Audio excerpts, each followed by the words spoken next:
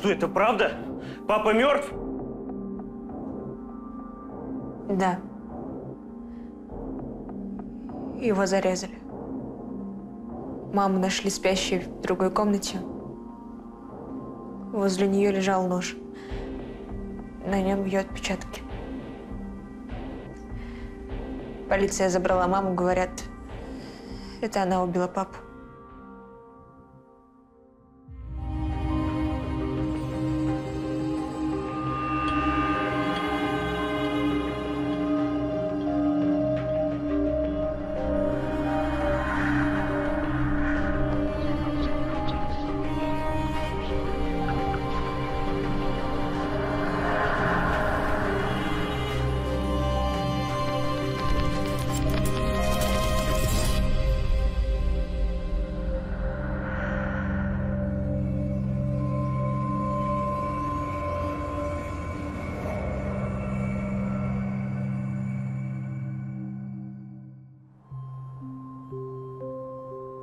Отец Екатерины погиб три дня назад, и в его убийстве подозревали мать Екатерины. Екатерина не верила в виновность матери и решила связаться с отцом, чтобы узнать, кто на самом деле убил его. Здравствуйте, вы София? Да, проходи.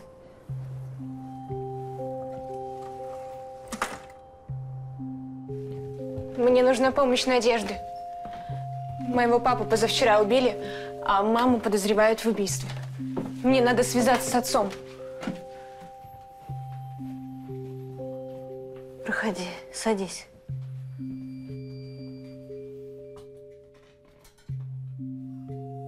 Дайте мне ваши руки. Как звали вашего отца? Денис.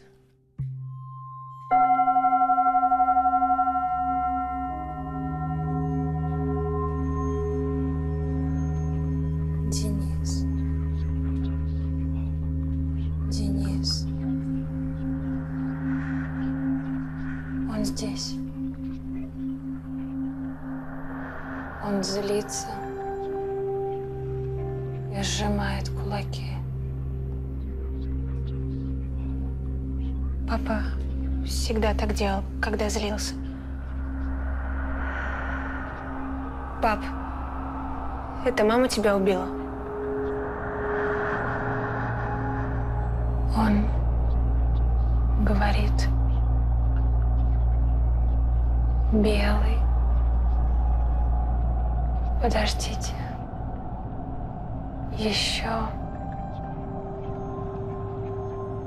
Павлин. Что это значит?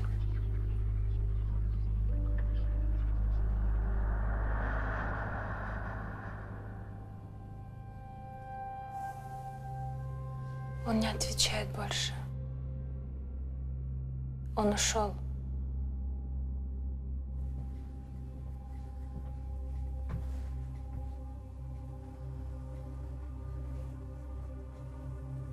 Почему папа не ответил на вопрос, мама ли его убила? Господи, я свихнусь.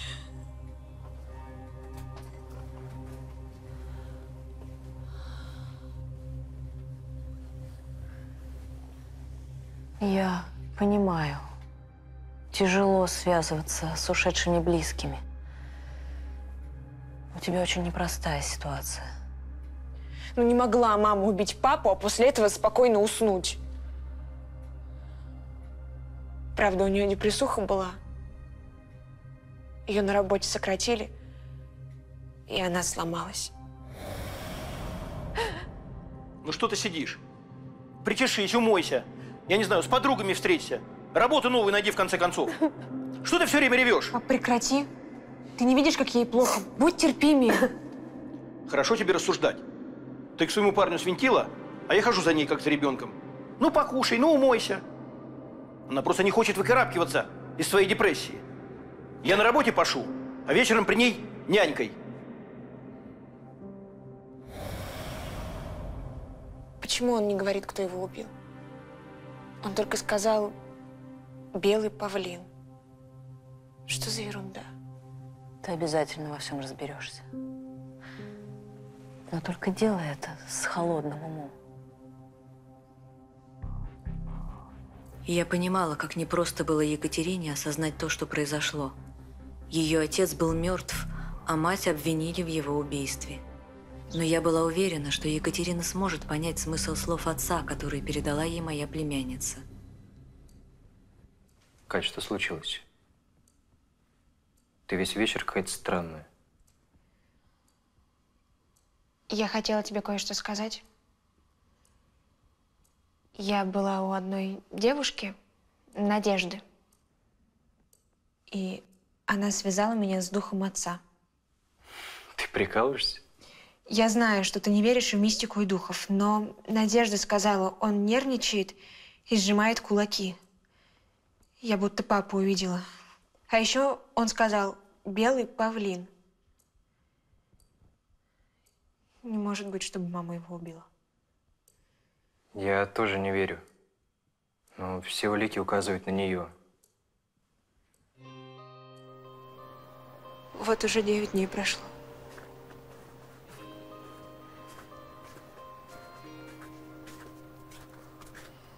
Привет. Фу. Налокался уже. Десять утра. У меня горе. Тебе только повод дай. Ну не злись. Не злись на брата. Я тоже тоскую по вашему папке. Родной брат. Всю жизнь рука об руку. И бизнес вместе вели. Совсем вы одни остались. Почему одни? У нас мама есть. Ее еще не скоро выпустят. Ты что, ты реально думаешь, что мать отца убила? Э, Совершенно не важно, что думаю я. Важно, что скажет следствие.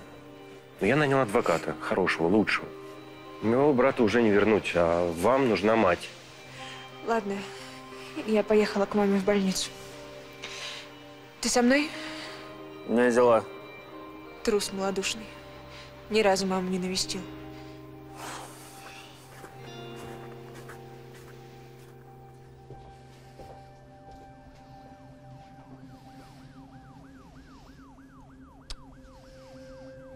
Мамуль, как дела? Ты что-нибудь вспомнила? Нет. А почему Дима не пришел?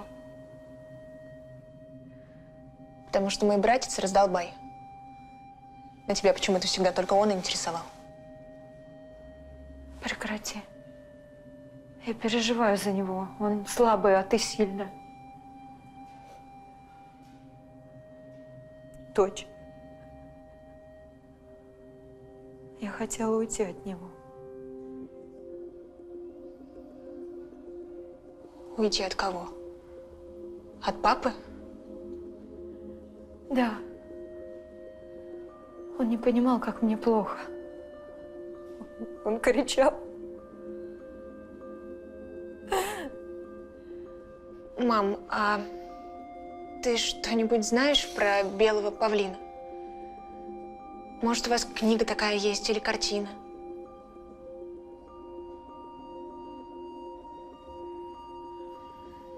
Ладно. Я все равно съезжу к вам домой. Попробую поискать. Отец Екатерины был убит в собственной квартире.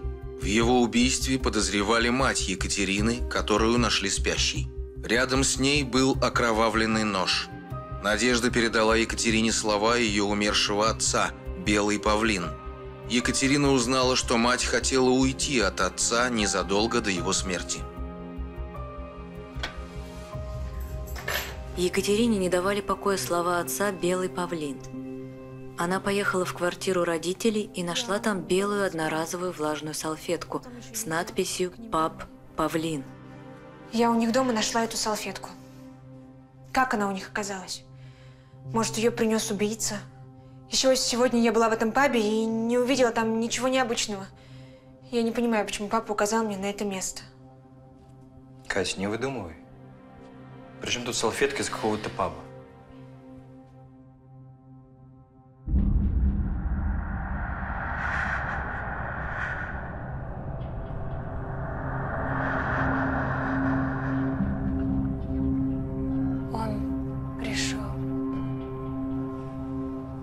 Чувствую его присутствие. Папа, я нашла салфетку из паба Павлин. Ты про нее говорил? Он кивает. А зачем ты на нее указал?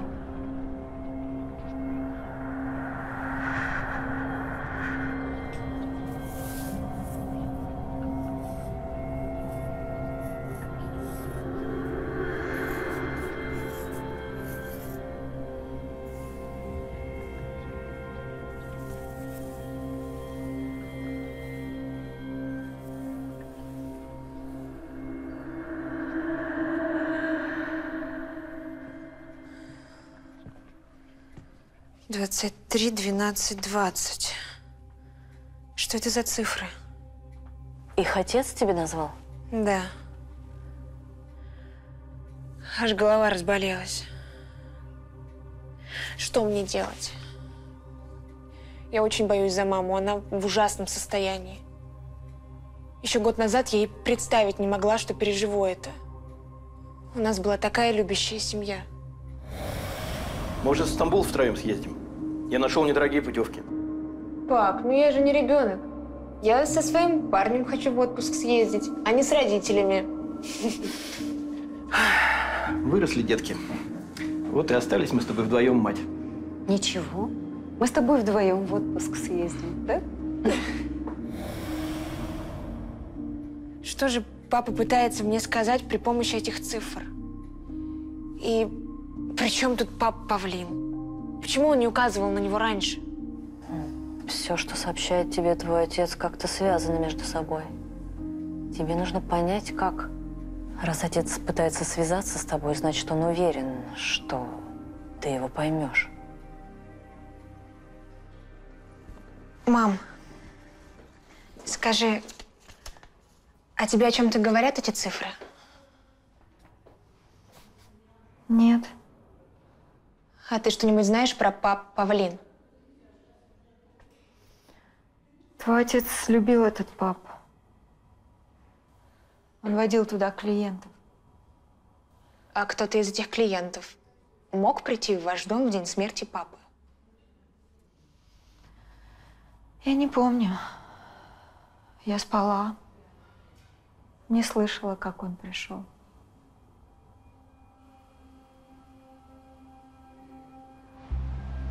Екатерина подумала, что цифры, названные отцом, могут быть кодом от сейфа. Она проверила оба сейфа – дома и в офисе отца. Катюша. Но ни к одному из них код не подошел. Привет. А что ты тут делаешь? Да, я приехала кое-что узнать. О, кстати, дядя Борь, а тебе о чем-нибудь говорят эти цифры? Ты же финдиректор отцовской фирмы. Может, это номер какого-то счета? Нет, я не в курсе. А что? Да так, ничего. Слушай, здорово, что ты заехала. Мне от тебя подписи нужны на доверенности. Ну, юрист нашей фирмы займется делами твоего отца. Пойдем.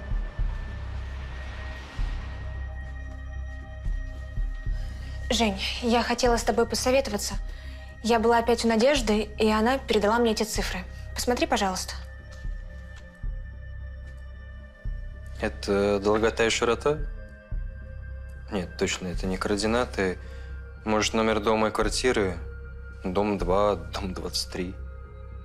Тебе это ни о чем не говорит? Не знаю. А может, это дата? 23 декабря 2020 года? А что было в этот день? Не знаю, может, в этот день что-то произошло в том пабе?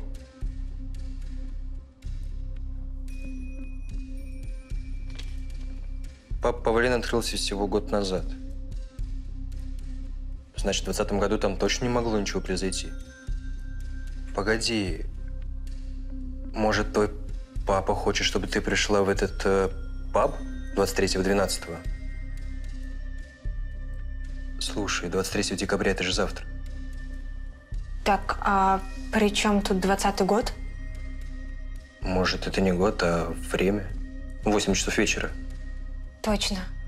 Ты молодец. Завтра вечером надо срочно туда идти.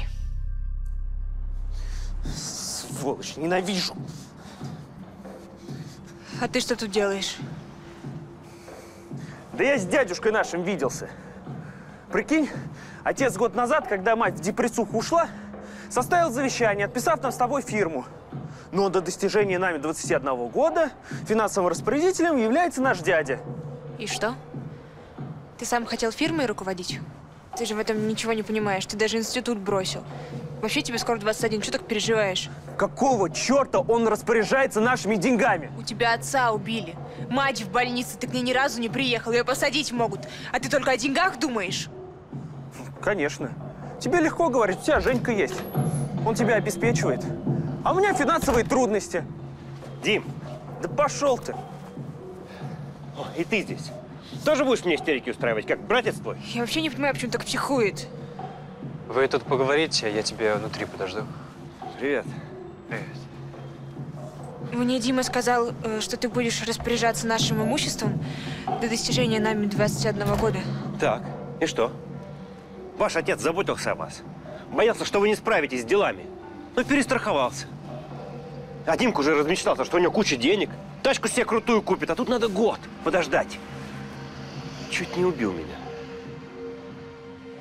Умерший отец передал Екатерине через Надежду цифры, которые оказались датой и временем. Екатерина пришла в назначенный час в паб, на который указал ей отец ранее, и узнала о том, что перед смертью он составил завещание, по которому все его имущество после смерти должно было перейти Екатерине и ее брату. Но до достижения ими 21 года финансовым распорядителем был их дядя – Я с барменом поговорила. Он мне рассказал, что две недели назад в воскресенье твой брат и отец, они были в этом пабе. Брат денег просил, а отец ему отказал.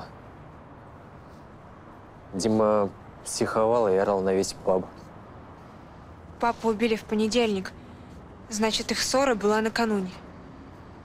Похоже, Дима опять вляпался в неприятности, ему позарез нужны были деньги. Что значит опять? У Димы уже были проблемы с деньгами, и отец его выручал. Слушай, а может, это Дима убил отца из-за бабок? Ну, чтобы наследство получить. Папа же отказался ему помочь. Ты реально думал, что твой брат убийца? Скорее он, чем мама. Может, вообще мама знает, что Дима убил и просто покрывает его.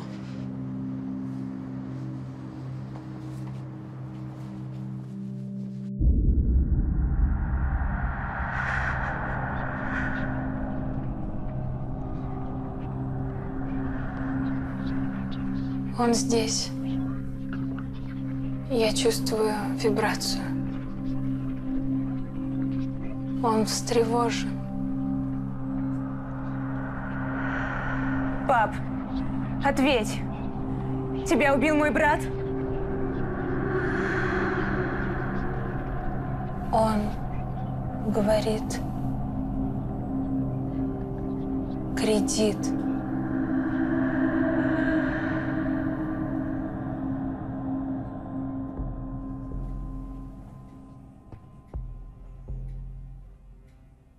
Неужели брат правда убил отца? Не делай выводов раньше времени. Что-то еще отец сегодня сказал? Папа сказал кредит. Видимо, Дима влез в кредит, а расплачиваться нечем. Ну, не зря же папа его паршивой овцой назвал. Придурок, как ты мог? Что случилось? Что случилось? Твой братец решил разбогатеть на ставках. Набрал кредитов и все продул. Да верну я их. Вернешь? 700 тысяч? Как, нарисуешь? Не кричи. Ты же сам виноват. Ты лишил его финансирования. Потому что он универ бросил, в который я его запихнул. Я столько денег заплатил за его обучение. А он решил все бросить, чтобы на машинах каляки-маляки рисовать. На аэрографе можно хорошо заработать. Так чего ж ты не зарабатываешь? А ставки делаешь? Сейчас у Димы снова какие-то денежные проблемы, а папа отказался ему помочь. Но неужели Дима правда убил папу ради наследства? Попробуй поговорить с братом. Но только спокойно. Екатерина почти не сомневалась в том, что отца убил ее брат. Она поехала к Дмитрию, чтобы напрямую спросить его об этом. Ты убил отца. Чего? Влез в кредит, и тебе нужны были бабки.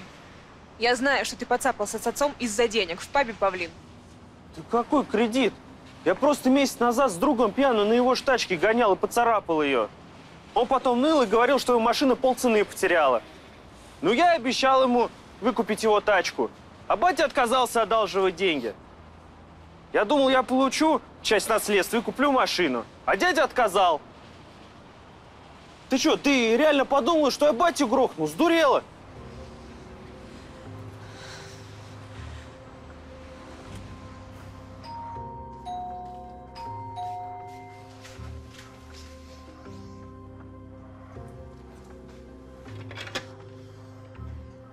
Че приехал? Испугался, что я в полицию пойду? Кать, ну ты опять что ли за свое серьезно? Ну ты послушай меня.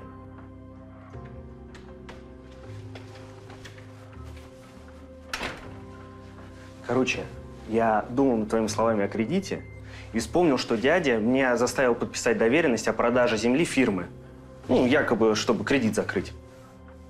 Ну да, я тоже подписывала эту бумагу. Я записал наш разговор с главбухом. Слушай, Борис ведь просил вас с Катей подписать доверенность на продажу активов фирмы, так? да, я что-то подписал. Дядя сказал, что нужно продать землю, чтобы закрыть кредит фирмы, а денег нет. Фирма не брала кредитов, это чушь. Ваш дядя хочет эти деньги в свой карман положить. И еще Семенов сказал, что дядя переводит на какие-то счета крупные суммы денег. Дядя заверил главбуха, что батя в курсе всех этих транзакций. Но накануне папиной смерти Семенов пришел к бате и показал, куда деньги идут. И тот офигел. Семенов подозревает, что дядя как-то связан со смертью отца. И боится, что в опасности, потому что дядя знает, что Семенов стуканул на него перед смертью. Неужели это дядя убил отца? Он ведь финдиректор и воровал деньги со счетов фирмы. Получается, он пришел в дом к родителям, пока мама спала под снотворным, убил папу и вложил маме в руку нож, а та салфетка из паба, он ее просто обронил?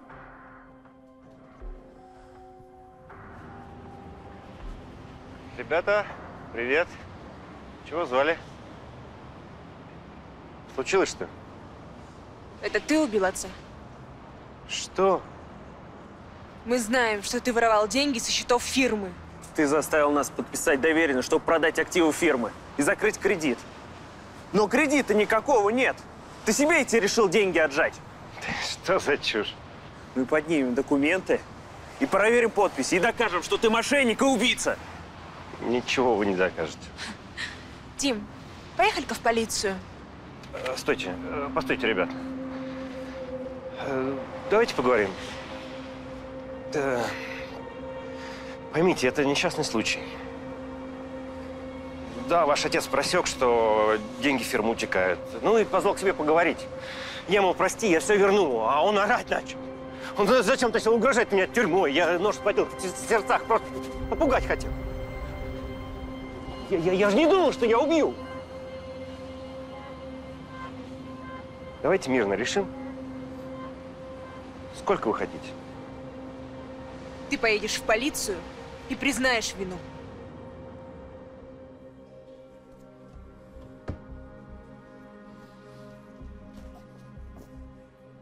Мамуль, прости, что не приезжал. Ничего, сыночек.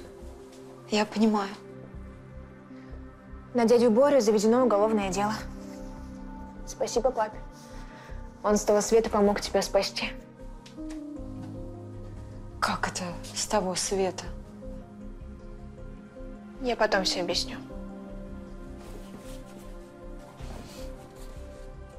Как же я как я без него буду? Мам, мам, мы рядом. И папа всегда будет рядом. Он о нас заботится.